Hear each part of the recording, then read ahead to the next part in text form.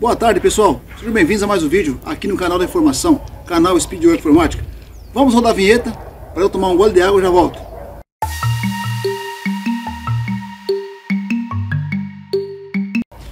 Pessoal, é o seguinte, uh, vai aparecer do lado aí do vídeo, esquerdo ou direito, o nome da playlist, onde estão sendo colocados todos os vídeos que estão sendo feitos, tá? cujo nome da playlist é Construção da Casa do Paulo Pedreiro. Uh, estamos beirando acho quase 100 vídeos só nessa playlist. Tá? O canal hoje é composto com quase 3 mil vídeos, tá certo? Nós estamos aí caminhando para 255 mil inscritos. Estou muito contente de saber que o que eu faço, o que nós fazemos, né? Está levando para as pessoas de maneira geral, tá? Uh, atingindo as pessoas, digamos assim, de maneira positiva com os nossos uh, conhecimentos. Tá? E conhecimento é aquilo que a gente tem que pegar, né? Selecionar e aproveitar o que é melhor. Tá? É como separar o, o joio do trigo. Então você tem que pegar o que serve, o que não serve jogar fora. Isso é importante, tá certo? Não adianta você ter muito conhecimento, sendo que você vai usar muito pouco daquilo que você aproveitou. Então conhecimento, ele abrange o que? Abrange aquilo que você buscou, que você se informou. Então é importante você assistir os vídeos, seja do meu canal, eh, seja de outros canais, né, e passar aqui na peneira ver se realmente procede, tá? Só lembrando que o que eu repasso aqui é o que eu vivo no nosso dia a dia, tá bom? Bom, ah, conforme vocês vão conferir tá? Ou já conferiram nessa playlist. Eu estou construindo a nossa casa, né? Estou aqui ainda no Burda Rimo, tá bom? E hoje eu terminei de fazer o quê? De fazer toda a parte da fundação aonde vai ser feita a nossa construção de futuro sobrado. Eu estou com um projetinho que eu fiz aqui em mãos, que seria isso aqui, tá? Ah, esses pontos pretos são as sapatas. Esses pontos amarelos são vigas, são colunas né, auxiliares. Essa aqui é uma outra situação, tá? Isso depois, se for um momento oportuno, a gente, a gente, fará, a gente, a gente vai fazer também alguns tutoriais, alguns vídeos, né? Para ensinar vocês como a gente vai engastar essa, essa, essa ferragem futura em cima do que já foi feito primeiro. Como aqui, por exemplo, nós temos aqui sete sapatas, tá? Essa sapata aqui, ó, vocês estão vendo aqui, ela é essa sapata do projetinho do desenho, onde começa a cozinha. Essa do meio, mostra pra gente, fazendo um favor. Essa do meio é essa aqui, Tá? Essa outra é aqui, aonde vocês podem observar no desenho aqui, ó.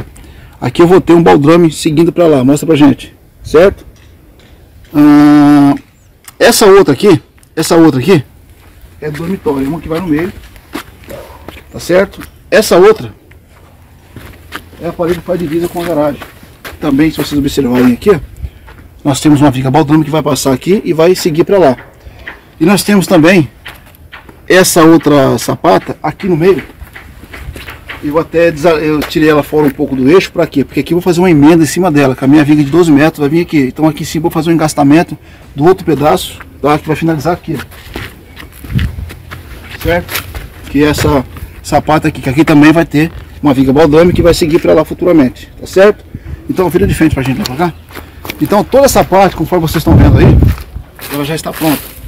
O que, que nós vamos fazer agora? Vai chegar para mim agora um material que é areia, cimento e pedra para eu concretar domingo. Hoje é sexta-feira, dia dia 6. Acho né? que é dia 6. Dia 6 de agosto de 2021. Agora aproximadamente aí 14 horas, né? E eu vou começar a jogar essa ferragem aqui hoje, vou jogar a, as minhas colunas, né? Junto com a sapata e a viga baldrame. Vou começar a amarrar ela hoje, amanhã eu termino. E amanhã, o que, que eu vou fazer? Eu vou esticar uma linha nessa divisa aqui e vou entrar com uma tábua fora fora até lá para que o meu concreto ele não passe para o vizinho. E também nas sapatas eu vou fazer o que? Fazer uma caixarinha em volta delas, aonde ficou um pouco mais largo, aonde eu quero fazer somente a conta do concreto, tá? Para não ficar uma sapata muito aberta e você acabar desperdiçando concreto. Depois também, pessoal, uma outra situação aí, eu farei um outro vídeo, onde eu vou mostrar para vocês aqui quanto, quanto, quanto que eu cobraria, tá? Para fazer esse trabalho aqui. Porque o que que entrou aqui? Entrou a abertura da vala, entrou a abertura das sapatas, né? Entrou a abertura das blocas, corte, dobra e montagem toda a ferragem. Tá certo? Então esse trabalho, quando for o momento oportuno, eu farei um outro vídeo, onde eu quero mostrar para vocês, tá? Quanto ficou esse tipo de trabalho, se eu fosse cobrar, tá joia? Bom, ah, basicamente é o seguinte, ah, é isso. Então aqui já está pronto para a gente poder fazer a colocação da nossa ferragem, pode me acompanhar.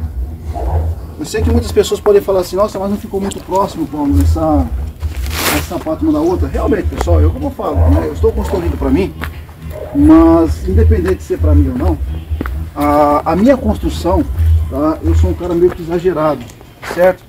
Paulo, quanto ficou essas brocas aqui, Paulo? Todas elas. São sete brocas com 3 metros cada uma. Já estou com as ferragens tudo pronto. Inclusive vocês acompanharam no canal aí, eu apresentando toda a ferragem. Inclusive as vigas baldrames, né? É uma viga montada com 12 metros, sem cortar o ferro, a barra 12 metros. Uma outra com 3 metros e. E mais sete colunas que vão entrar aqui. E mais sete sapatas, onde eu montei tudo aqui na obra. Beleza? Inclusive vocês estão vendo o barraquinho de fundo aí. É onde eu estou ficando por esses dias para olhar esse material, tá? Porque não é barato. Ali eu tenho quase dois mil reais só de ferro. Fora os materiais que vão chegar pra gente aí, como areia, cimento e pedra, não é ferro. E areia, cimento e pedra é arame. Então eu tenho aqui todas essas sapatas abertas, tá? E vou montá-las hoje. Pode ficar de frente pra gente finalizar o vídeo, fazendo um favor. Eu vou... Pode abrir um pouco mais e mostrar um pouco para o pessoal, assim, tá vendo?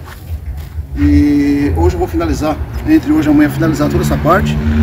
Para que na, no domingo tá? Eu quero concretar isso daqui. Depois também eu vou, se for o caso, também vou disponibilizar para vocês aí quanto foi que eu gastei para fazer a concretagem dessas sete sapatas 60 por 60.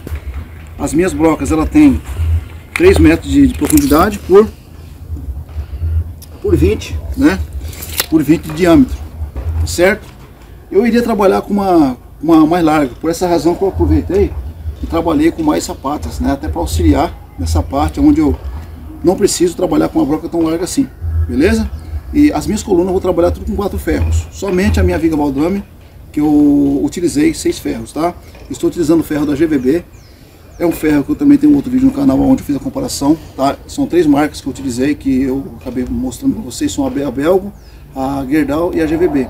GVB e Gerdau praticamente é o mesmo ferro, tá certo?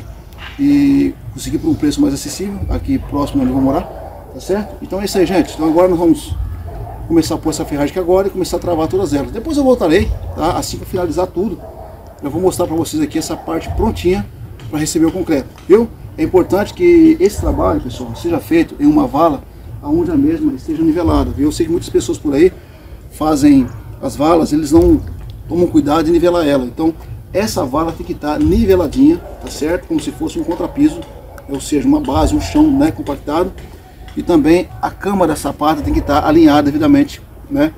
É, alinhada. Porque assim, todo esse, esse peso futuramente que vai jogar em cima aqui, tem que estar em cima de um solo bom e em cima de uma ferragem que de fato venha aí suportar esse peso. Depois eu farei um outro vídeo também, como que a gente faz para a gente poder, uma vez que eu não vou poder engastar minha ferragem mais embaixo.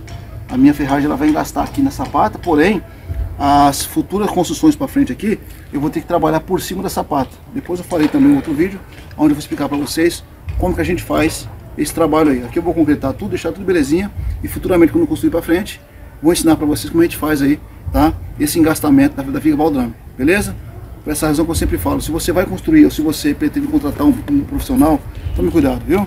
Se você quer assistir vídeo, você quer aprender, eu sempre falo, o céu é o limite, vai depender de você, certo? Se você tem dúvida, se você tem alguma sugestão, fique à vontade, entre em contato com a gente, que assim for possível, eu darei um feedback para a gente poder tocar uma ideia e ver o que é melhor para ambas as partes. Porque apesar de eu estar aqui repassando meus conhecimentos, eu também não deixo de buscá-los diariamente, beleza? Por essa razão que eu sou um camarada comprometido com o que eu faço. Valeu? Então vou ficando por aqui, espero que esse vídeo, como muitos outros, tenha levado para vocês informações que eu tenho certeza absoluta que vai lhe ajudar no seu dia a dia, tá bom? Se você chegou agora, se inscreva, ativa o sininho, que eu tenho certeza que você vai receber coisas bacanas diárias para você colocar no seu dia a dia. E compartilhe os vídeos aí na, nas redes sociais com os amigos aí, que eu tenho certeza, né, nos grupos de WhatsApp, que vai ajudar quem precisa. Valeu, gente? Fui, um abraço e até os nossos próximos vídeos. Tchau, tchau.